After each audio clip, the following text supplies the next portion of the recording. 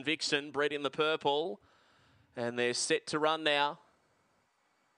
Often racing and Jumbuck Johnny jumped okay from the outside. Mum's Pearl had early speed. They're going to cross over and lead from start the bounce and then Blinding Faith. Uh, trying to wind up Boston Legal with Money Rain. Back at the end, Flying Gizmo, but it's all Mum's Pearl with 50 to go. Five in front from Money Rain, and Mum's Pearl's going to spank them on debut. Mum's Pearl won it by four, beat Money Rain, third Jumbuck Johnny.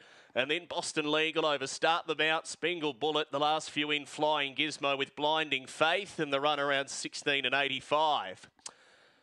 That was a nice debut from a, a roughie at the end. Mum's Pearl for Daniel Turnley has jumped beautifully from box number six, went straight across to lead. Jumbuck Johnny tried to track the move, but to be fair, was no match for the winner. And Mum's Pearl at a price has been able to cruise across and find the lead and then just sprint away.